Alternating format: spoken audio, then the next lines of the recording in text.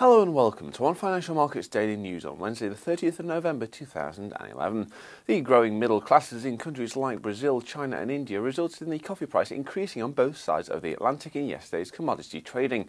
As African producers met for the 50th Inter African Coffee Organization conference in Nairobi, Ribeiro Silva from the International Coffee Organization announced that he didn't expect prices to slump for the next decade unless something drastic happens.